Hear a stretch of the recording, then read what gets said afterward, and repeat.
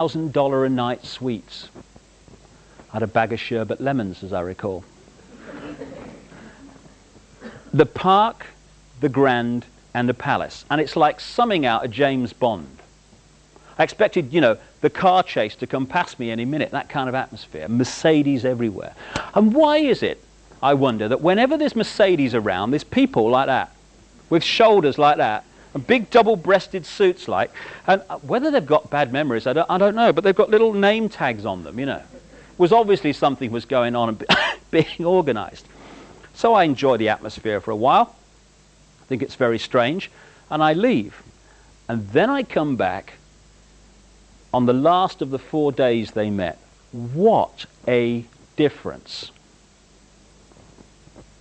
Now I can't get on the mountain leading up to the hotels because the road is blocked by the Swiss police right at the bottom of the mountain. Across the mountain are military lookout posts. According to this journalist, in the early days, there were helicopters all over the mountain um, surveying the place.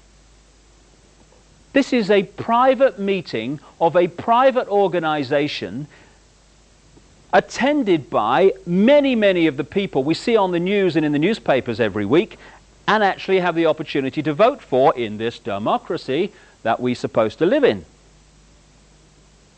Incidentally, one of the great myths uh, I feel we need to get over is the fact that democracy is freedom. No, it's not. It's a con trick. 50 people telling 49 what's going to happen in their lives is not freedom. Or, or in our electoral system in Britain, about 35 telling the rest what's going to happen is certainly not freedom. But freedom and democracy have become interlinked, so one means the other. So we're in a democracy, we are free, so we accept it, when we're actually in a tyranny. Anyway, I thought I'd play the ignorant tourist in Bürgenstock, see, which I did with remarkable aplomb. So I come up to the roadblock like, and this Swiss policeman comes over. I knew he was a Swiss policeman because on his back it said Swiss police. You know, my observation is, my, my powers of observation are unbelievable that day. This is a nice man I'm talking to here, spoke very good English. And um, I said to him, look, I said, um, I came here the other day and I, I went up there, the, what's the problem today? It was very obvious he didn't know exactly what was going on, but I remember what he said. He said, It's top secret, top secret. No one up there before 5 o'clock. After that, you'll be able to go back to the hotels. Last day it was. Two things uh, occurred to me.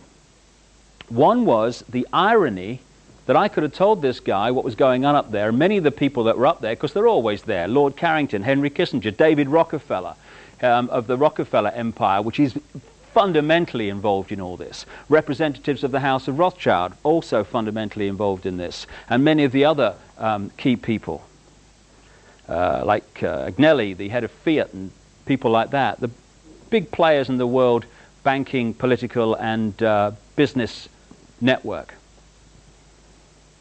The other thing that occurred to me is that I was looking into this policeman's eyes and I was looking at compartmentalization. Because, as I say, this was a nice man. He probably had children and grandchildren. He doesn't want to leave them some global tyranny. But he doesn't know what he's defending. What has he been told? Top secret meeting, no one passed here till you're told. That's all he knows. So, although he doesn't want to leave um, his children, what not all of the people up there, because some of them are manipulated too, but what the core of that organization wants to leave his children, he doesn't want to but he doesn't know what he's defending. So on that one afternoon, he's keeping from the public eye some of the people that wish to leave his children exactly that. We had a situation in, uh, in Bürgenstock where the secrecy was so uh, fierce for a private organization, a think tank, that they brought them in by private plane to a, a military airfield at the bottom of the, uh, the mountain and then flew them behind the security cordon in helicopters. And even drive them up there.